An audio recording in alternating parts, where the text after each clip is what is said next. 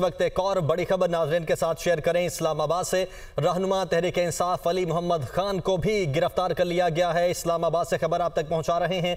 रहनुमा तहरीक इंसाफ अली मोहम्मद खान को गिरफ़्तार कर लिया गया है। इससे कबल मुख्तलिफ़ रहनुमाओं की गिरफ्तारी हो चुकी है। इसी हवाले से आदिल तनौली में हमें ज्वाइन किया है। आदिल, कब ये गिरफ्तारी अमल में लाई गई? आज देखा चेयरमैन पीटीआई इमरान खान की गिरफ्तारी के बाद जलाओ गिराव और तोड़ फोड़ के बाद जिला भर में थ्री एमपीओ के तहत पीटीआई की दीगर रहनुमाओं की गिरफ्तारियों का सिलसिला भी जारी है।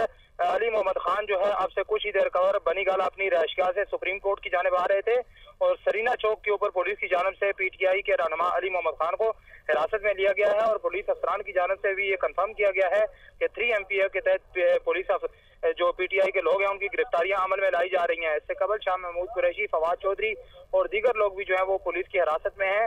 तो आज अब से कुछ ही देर कबल जो है, पीटीआई के रहनमा अली मोहम्मद खान को सुप्रीम कोर्ट आने से कबल ही पुलिस की जानब से हिरासत में लेकर इस्लामाबाद के थाना सेक्रेटरिएट मुंतकिल कर दिया गया है। दीगर जो लोग हैं, पीटीआई के मकामी रहनमा है या दीगर सूबों से आने वाले एम जो हैं, उनकी गिरफ्तारियों के हुक्म भी बाकायदा तौर पर पुलिस को मसूल हो चुके हैं।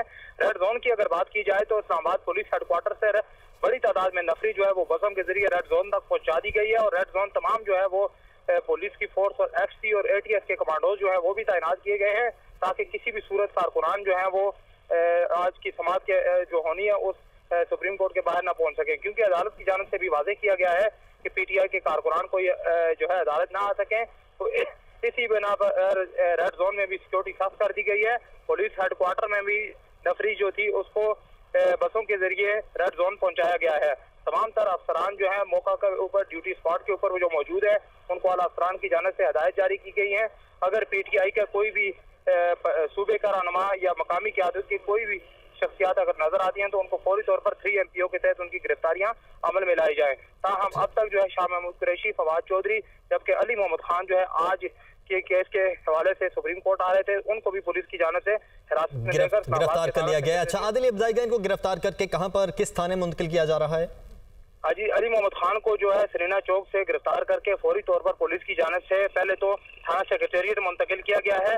उसके बाद जैसे ही केस की समात खत्म होगी तो आला अफरान की जानब से हदायत जारी की जारी की जाएँगी कि कौन सी जगह इनको मुंतकिल करना है, लेकिन फिर वक्त करीबी थाना जो है, वहीं पर जिसको भी गिरफ़्तार किया जाएगा तो अफरान की जानब से ये बताया गया है कि फौरी करीबी जो थाना है, वहाँ पर पीटीआई के रहनुमाओं को जो है फौरी तौर पर पहुँचाया जाए। अली मोहम्मद खान को इस्लामाबाद के थाना सेक्रेटरीट मुंतकिल किया गया है।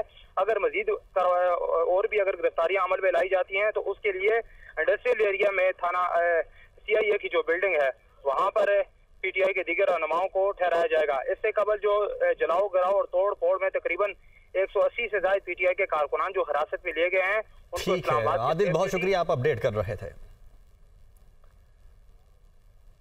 इस्लामाबाद से ही खबर है कौमी इस्लामती कमेटी का हंगामी इजलास कल तलब कर लिया गया है।